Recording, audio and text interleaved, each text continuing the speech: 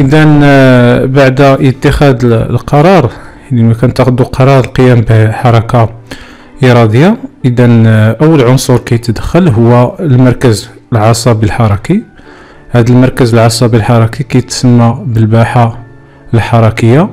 اذا آه، الباحة الحركية كتواجد بالقشرة المخية أمام شق رولاندو لكن شفنا الشق ديال رولاندو أمامه. donc توجد الباحه الحركيه وخلفه كنا شفنا في الحساسية الشعورية كتواجد باحة الحساسية العامة.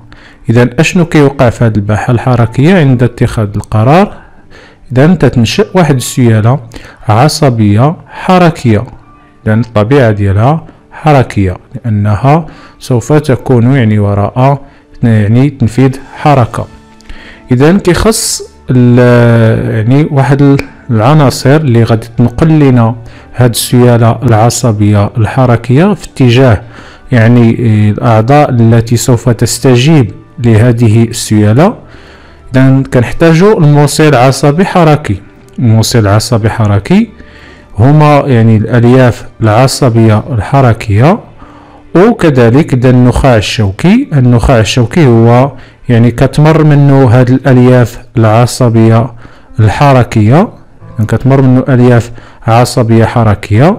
إذا كيتعتبروا جوج بأنهم موصلات عصبية حركية. الدور ديالهم نقل السيالة العصبية الحركية. إذا فين غادي ينقل لنا هاد الألياف العصبية الحركية؟ هاد السيالة العصبية الحركية غادي ينقلوها لنا العضو اللي غادي يقوم بتنفيذ الحركة اللي كنسميه بالمستجيب الحركي اللي هو العضلة.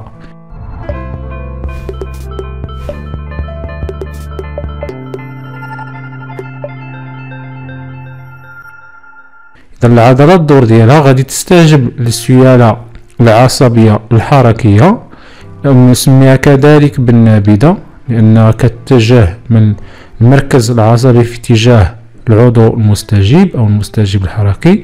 إذا قلنا غتستجب السيالة العصبية الحركية وغتنفذ لنا الحركة. داكشي علاش كنسميو العضلة بأنها مستجيب حركي. إذا في هذه الخططة عندنا اذا هنايا التموضع ديال الباحة الحركية. اذا هنايا عندنا النصف الأيسر من الدماغ. اذا هذه باحة حركية يسرى توجد أمام شق رونالدو.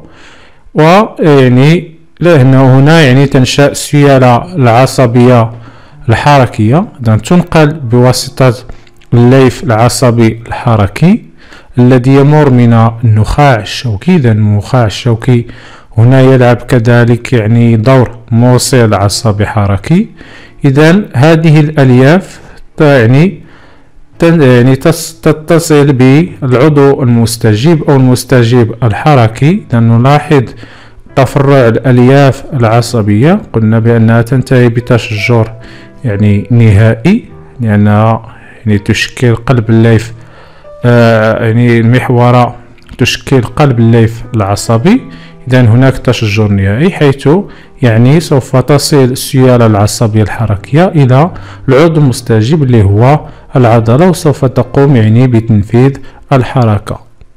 إذا كما كتلاحظوا هنا العضلة كتواجد في نصف الجسم الأيمن والسيالة العصبية اللي وصلتها دونك جاية من باحة حركية يسرى. إذا خصنا نعرفوا بأن الباحة الحركية اليسرى كتحكم في يعني الأعضاء أو المستجيبات الحركية الأعضاء المستجيبة اللي كاينة في النصف الجسم الأيمن.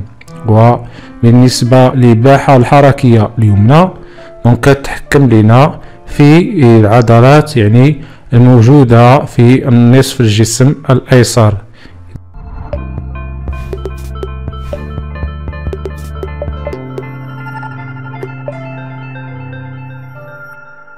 إذا تتحكم الباحة الحركية اليمنى بالأعضاء المحركة موجودة بالنصف الأيسر من الجسم وتتحكم الباحة الحركية اليسرى بالأعضاء المحركة الموجودة بنصف الجسم الأيمن. إذا كان هذا يعني واحد الفيديو يعني مختصر كيبين لنا الآلية ديال التحركية الإرادية. اذا بشكل اللي هو مبسط وفي نفس الوقت يعني كيمكننا من الفهم ديال هاد الآلية ديال التحركية الإرادية. donc كنشكركم على انتباهكم وإلى فيديوهات أخرى إن شاء الله. ينصح الخبراء اليابانيين باتخاذ الإجراءات التالية. subscribe like comment favorite.